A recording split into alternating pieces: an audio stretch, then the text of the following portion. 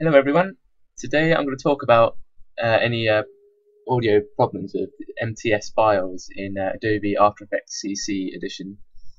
Uh, I usually I originally had CS3 and noticed that it didn't support MTS at all, so I upgraded to CC and was relieved to see they use these files now because that's what my camera uses. But I noticed when I was trying to make this project here that some of the audio is missing, which you can see here. The wave waveform, over half of it is missing. I don't know why it happened on some files. In other files, it was okay. And I tried re-importing it, and it still didn't work. Um, I tried compressing it with a another codec program, but the results weren't that good. So I decided to try and find this problem, this solution to this problem.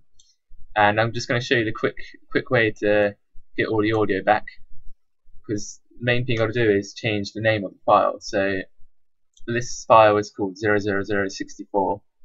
So what you want to do is go to where your file is, which is mine here, and you want to rename the file to the original name, but afterwards put the extension M2TS and press enter. Then when when you go back into After Effects, After Effects is like, oh no, it can't be found. That's fine. So go up to the here to the top left where it says it used to be, right click, replace footage and click on file. And now click onto the file you just renamed which is this one here with the M2TS and press import. Now you can go back down to here and go to trans oh, sorry to audio and waveform. And now you can see all the audio is there. So you can just do that on all the files. It's it's a really quick fix and saves having to change it into another file type. So I don't know why it does it exactly. It just this seems to fix it.